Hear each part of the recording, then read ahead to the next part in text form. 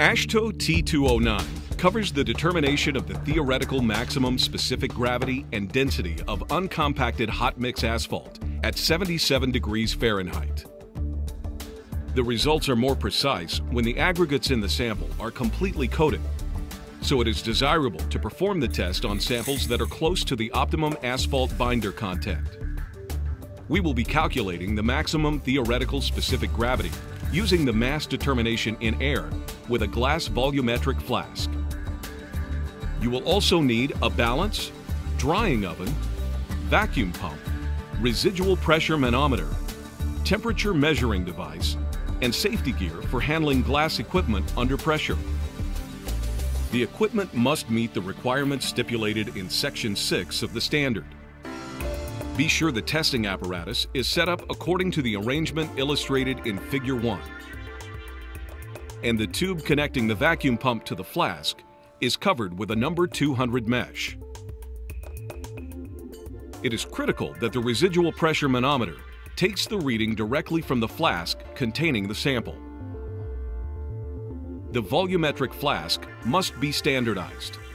Fill the flask completely with water at 77 degrees. The use of a bulb syringe and a glass plate help to ensure accurate filling. Remember that the plate used for standardization becomes an integral part of the flask for testing purposes. If a different plate is used with the flask, you must perform a new standardization. Make certain that there are no trapped air bubbles and remove all water from the outside of the flask and glass plate. Weigh the filled flask and plate to the nearest tenth of a gram and record the mass as D. For laboratory prepared specimens, condition the sample for a minimum of two hours at 275 plus or minus 9 degrees. For plant mix specimens, dry to a constant mass at 221 plus or minus 9 degrees.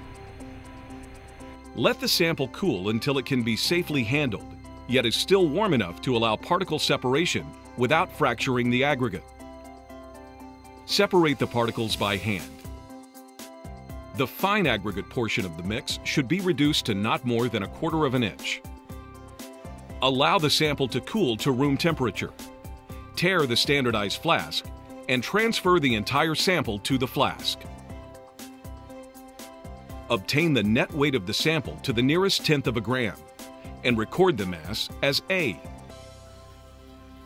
Cover the sample completely with water at a temperature of approximately 77 degrees. Place the flask on a resilient surface such as rubber or soft plastic. Apply a gradually increased vacuum until the residual pressure manometer reads 27.5 plus or minus 2.5 millimeters mercury. That's 3.7 plus or minus 0.3 kilopascals. Maintain the vacuum for 15 plus or minus 2 minutes. You may agitate the flask continuously with a mechanical shaker or manually by vigorously shaking about every 2 minutes. At the end of the vacuum period, Gradually release the vacuum at a rate not to exceed 60 millimeters mercury per second. That's 8 kilopascals per second. And proceed with the mass determination. We are demonstrating the mass determination in air.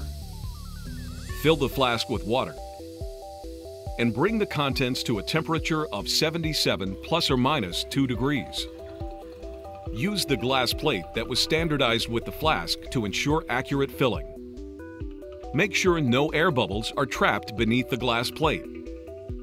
Wipe off all excess water and weigh the flask and contents. Obtain the total mass to the nearest tenth of a gram and record as E. The mass determination must be completed within 10 plus or minus 1 minutes from the end of the vacuum period.